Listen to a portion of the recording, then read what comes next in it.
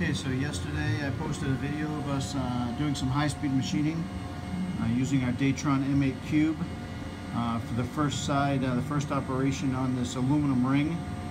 This is 6061 aluminum, and um, you remember from the video we cut this at a very high speed. So what we're going to do here, we're in our Brown and Sharpe uh, CMM machine, and we are going to check the roundness of this ring because that uh, really tells us how good the CNC machine is uh, by seeing how round it can actually cut apart. So we're going to check this ring right now.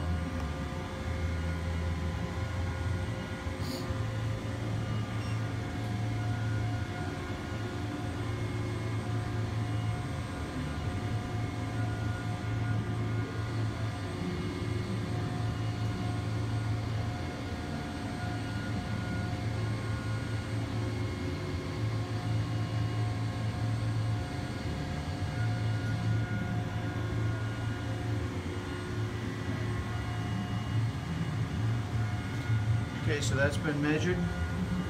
Come over here and take a look at our results. Uh, on the screen here, you can see that uh, we took 2,536 points. We have a total roundness error of uh, a little over two tenths of a thousandth, which is very, very good looking at the speed that we machine that at. So there's the graph in PC-DMIS uh, that we'd see on the report. Um, so a little over two tenths on our roundness tolerance. Uh, we did that finished cut at about 130 inches a minute. So that's pretty good.